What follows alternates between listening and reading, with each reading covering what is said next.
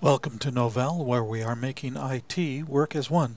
Today we'd like to introduce you to one of Novell's Quick Fix on-demand training modules.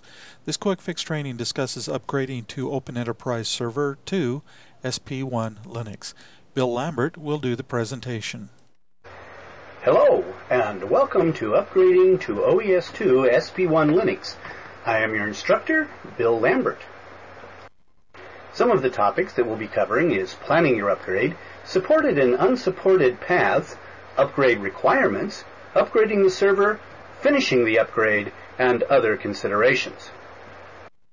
When planning for an upgrade, be sure to always check the README for any additional information or new information that you may need. And always upgrade the OS at the same time as upgrading OES. So for example, if you are on an OES server and you want to go to OES SP1, be sure to upgrade the underlying SLES at the same time as upgrading the OES. Non-OES2 packages are going to be deleted by default.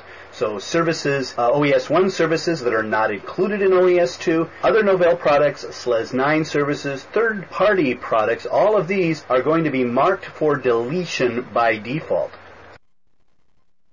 Some of the upgrade requirements that we'd like to talk about is securing the current data, the issue between EVMS, NSS uh, on a system disk, some of the storage space uh, on the root partition, SLES 10 SP2, OES1 SP2 concerns, eDirectory concerns, IP addresses, DNS, common server certificates, and an installation source. You are watching a small portion of a Novell Quick Fix on-demand training module. The complete module contains all the necessary information that you will need. Let's continue discussing the server upgrade. There are three basic ways to accomplish this upgrade. Now the entire upgrade will be done via what is known as a down server upgrade. You will take the server down and then reboot it to an installation source. And you can use any one of the three commonly used installation sources. An installation source via DHCP, an installation source without DHCP, or upgrading via a physical media or an ISO. And of course, it's during this upgrade process that you are going to mark older packages, packages not found in OES2 SP1. You can mark them to lock them or save them so that they're not deleted by default.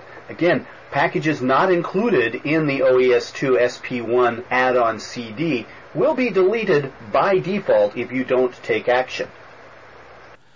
The information you have just reviewed is just part of a quick fix on-demand training module.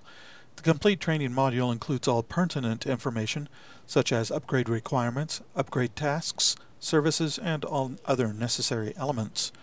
Thank you for joining us. For further information on Novell's on-demand training and how to purchase this and other Novell on-demand training, please click on the URL provided to the right of this video in the description box.